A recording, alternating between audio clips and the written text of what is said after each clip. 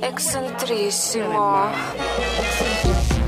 Легендарный Хью Хефнер как жил припеваючи, так спокойно и отошел в мир иной на 92-м году жизни. Роскошные красотки с кроличьими хвостиками всех поколений осиротели. Хуже всего вдове. 30-летняя Кристал Харрис, которая скрасила последние пять лет жизни великого плейбоя, ничего после его кончины не получит. Только заберет себе все, что он подарил. И две другие жены тоже не дождутся ничего от империи грез. Все наследство наследство Хефнер оставил своим детям, благотворителям и Университету Южной Калифорнии.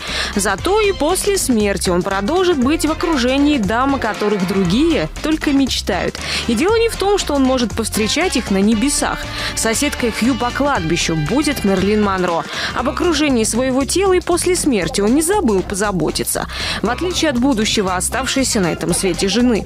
Заплатил за близость Мерлин 75 тысяч долларов еще 25 лет лет назад. Хитрец смекнул, что у мертвой женщины не нужно спрашивать разрешение для того, чтобы к ней приблизиться. Эксцентриссимо.